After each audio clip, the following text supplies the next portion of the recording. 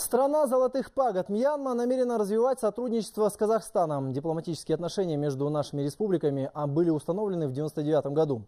Но сложная политическая ситуация в государстве Юго-Восточной Азии с населением в 60 миллионов человек препятствовала расширению ее контактов.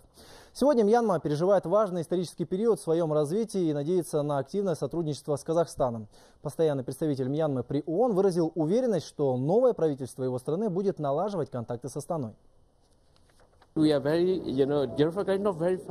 Казахстан и Мьянма имеют большой потенциал для двустороннего сотрудничества, даже несмотря на географическую удаленность наших государств. Можно развивать отношения во многих отраслях и многому учиться у вас. Сейчас моя страна переживает весьма деликатный политический переходный период, и я уверен, что новое правительство Мьянмы будет налаживать контакты с казахстанской стороной.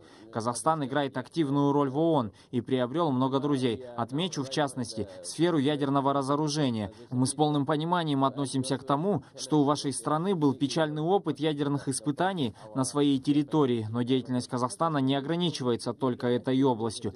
Проводится большая кампания по выборам в Совет Безопасности ООН.